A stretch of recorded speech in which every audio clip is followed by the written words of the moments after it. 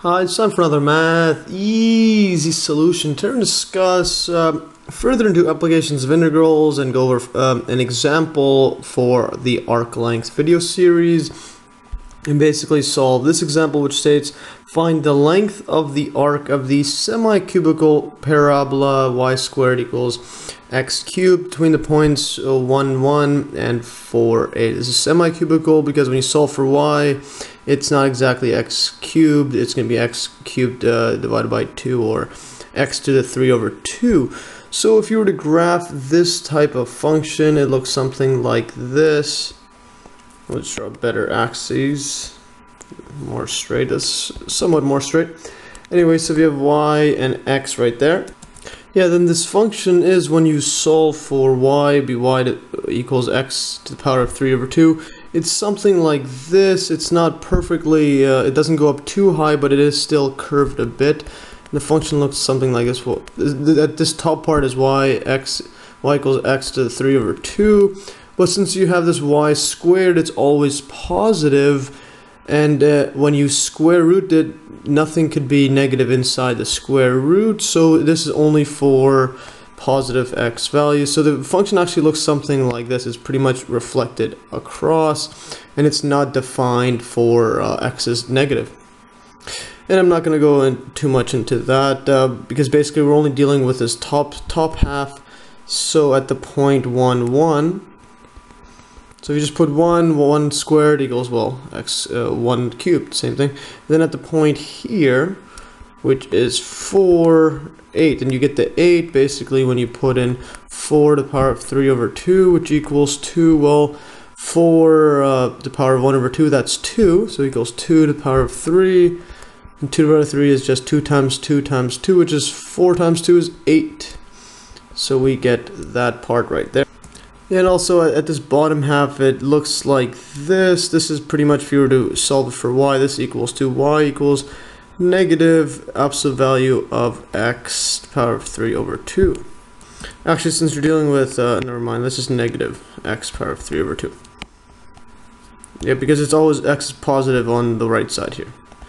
So anyways, it's, it's equal to that because whenever you have, just for completeness sake, so if you have y squared equals to x cubed, then y is equal to plus or minus square root x cubed right there. So that's pretty much how the equation is.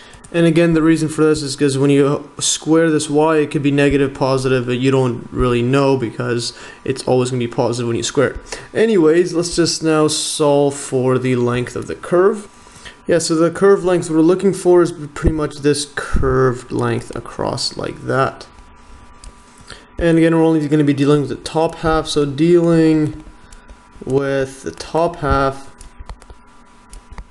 top half, what we have now. Yeah, dealing with top half and also recalling, so dealing with top half where y equals 2 x power of 3 over 2. And also if we recall the uh, arc length formula, which I showed in my earlier video, what we have now is so basically L, the length of the curve is equal to, or the arc, is equal to the integral from the 1 to 4, that's the points we're dealing with, x equals 1 up to 4, of square root 1 plus dy over dx squared dx right here.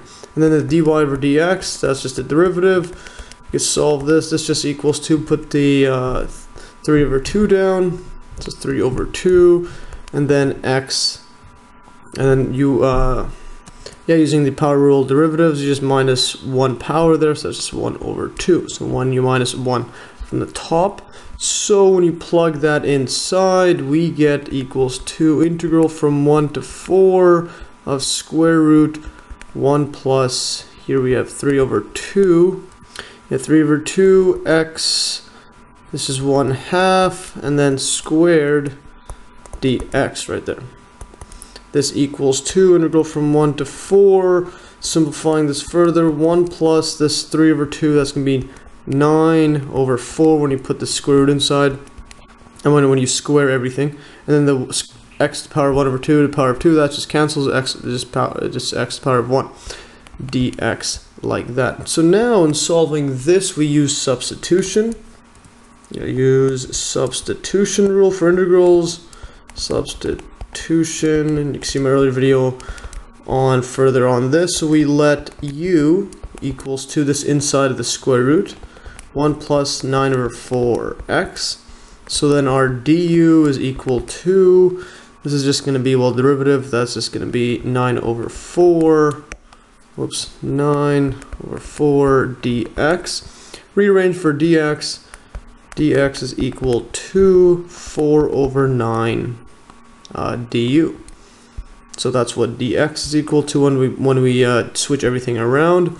And then at x is equal to 1, what we have is u is going to be 1 plus, well, 1, 9 over 4 and use a common denominator 4 over 4 add these up that's 13 over 4 and then at x equals to 4 we have u is equal to 1 plus 9 over 4 times 4 the 4's cancels this is 1 plus 9 equals to 10 so it's from there to there so thus what we have is L is equal to when you put all together so this 1 over 4 square root 1 plus 9 over 4 x dx is equal to the integral from the new uh, intervals from 13 over 4 to 10 because we're changing the variable.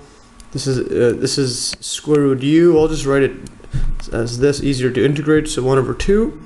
And then du, but again, du, there's a 4 over 9, so let's just put that in front because it's a constant. So 4 over 9, or I'll just put it here for now. I'll, put it out, out of the integral after this. So 4 over 9 and then du right there. So we could take it out of the integral and solve for, uh, just, yeah, solve for this integral. So we have 4 over 9, and then we have u, you add, add 1 to it, so it becomes 3 over 2, and then we put down this constant below, so flip it over to divide by it, so 2 over 3. So that's the integral of that, and then we're evaluating this from, basically from 13 over 4, up to 10. So this equals 2 when you multiply these constants, keep it out of this, it's just constant, you could take it out. So 2 times 4 is 8, so we have 8, and then 9 times 3 is 27, and evaluate this, we get 10 to the power of 3 over 2 minus, when you evaluate it, and then 13 over 4 to the power of 3 over 2 and then, yeah, so now we have to evaluate all this. This becomes 8 over 27. And then this 10 to the power of 3 over 2, recall the power function properties. This is just pretty much the same as writing 10 to the power of 1 plus, plus 1 half. And then subtract it on this side, this is going to be 13. And I'll just do the same thing over here. So 13 to the power of 3 over 2, which is 1 plus 1 half and then the bottom is this one is pretty much 4 power of 3 over 2 which we already solved we already solved above that's just well that's the same thing that's just 8 so 4 power of 3 over 2 that's just 8 so this all together this equals 8 over 27 I'm just doing this uh, by hand manually you can put in a calculator whenever you want. Just want to simplify it further if we can. So 10 this is the same thing as writing 10 times 10 1 over 2 or 10 to the power of 1 times 10 over 1 over 2 and you can add the powers and when you divide you subtract the powers etc so now this is going to be 13 times 13 1 over 2 divide this by 8 4 uh, yeah, square root 4 is 2 then 2 to the power of 3 is 8 like I showed before. Now the common denominator I'm going to multiply by 8 and divide by 8 and as you can see we can cancel this 8 afterwards. So what we're left with 8 times 10 is 80 so this would be 1 over 27 8 times 10 is 80 and then times it by square root 10 minus right here 13 times square root 13 so this is our exact answer and if you were doing a calculus exam this says put the exact, exact answer. This is the exact answer. You don't need to simplify it further. You don't even need to put in a calculator, but if you want, or you could even probably end up here and you'll be you'll be done anyways. If your calculus book doesn't say to simplify. So if you plug this in the calculator, I'll go over here, I plug this in here in the Google calculator. So 1 over 27 times 80 square root 10 minus 13 square root 13, we get about 7.633705. So let's plug that in. 7.633705 and keeps going on and on. So this is our uh, roughly our answer. Now, a pretty useful note is basically as a way to double check our answer, we realize from the curve that the distance between the two points should be slightly smaller than the length of the curve. So what I mean by that, if you were to, let's just roughly draw the curve, it looks something like this, y, x, y, and x, and, it, and you can see it curves up a bit because it's power of 3 over 2, which is greater than 1. So it curves up like this, it's y equals x3 over 2. So at this point, this is our 4, 8. And then at this point here is our 1, 1. Let's go a bit higher to make it easier to draw. Yeah, I'm just going to draw it here. So 1, 1 right here. So the exact di distance across it, which is pretty much just a uh, straight line across like that. So I'll draw it a bit off. So the straight line like this, we'll call this distance d and this distance we can calculate using Pythagoras so this length right here yeah this, this length across the difference from there to there here to here.